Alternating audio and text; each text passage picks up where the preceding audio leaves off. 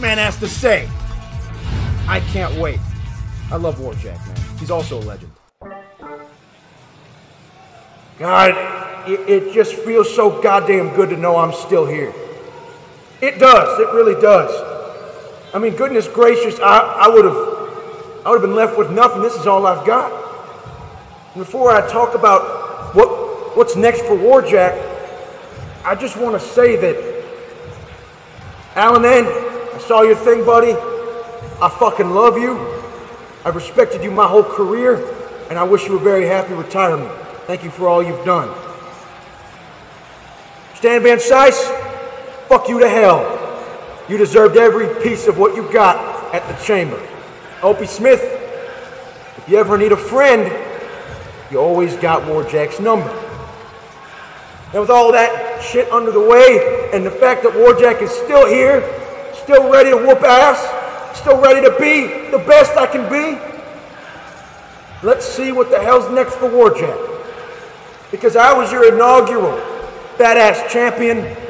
I've always been a badass, and I'm upset that that legacy has not been carried to this company. But ladies and gentlemen, understand that the badass legacy will always be in Warjack's soul. And I will wrestle till the day I'm dead. So whoever decides they think they have a goddamn what?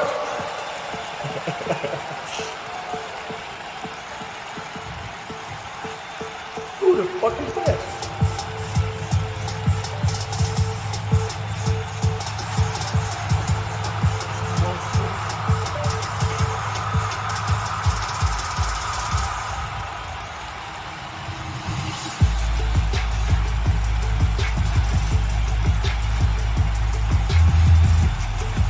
Let me just stop you right there.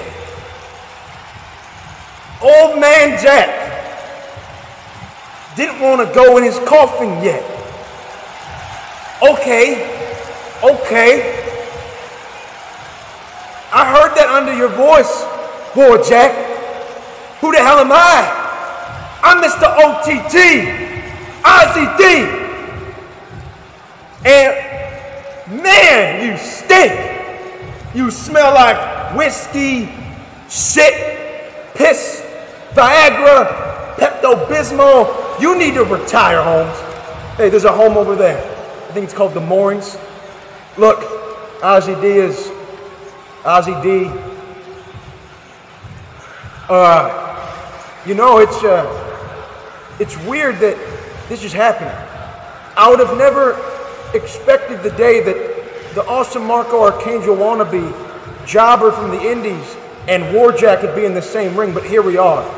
Uh, what's your name again? I said, you know my name. Shut up, bitch. All you people in San Jose, shut up, bitch. You're a bunch of bitches, bitch. You see, Mr. OTT has been severing heads and impressing backstage, and man, I'm back. And Warjack, Mr. OTT's next for you. Is that so, yeah? You're next for Warjack? Says who? Says who? I, I was thinking maybe I'd go run it back with some rebel kids. I was thinking maybe I hit up my friend Kid Valley and see if he want to tag, but you? The guy that looks like every other guy that's never made it? You? You in what army? Listen, bitch, alright? All these old bitches in the locker room think they still got something. You know, Galactic Greg, yeah, I'm gonna call him that, I don't give a shit. I gave him that in Japan. I mean, hell, I didn't want him to kill himself. Ethan could say on me, he's a Special Olympian.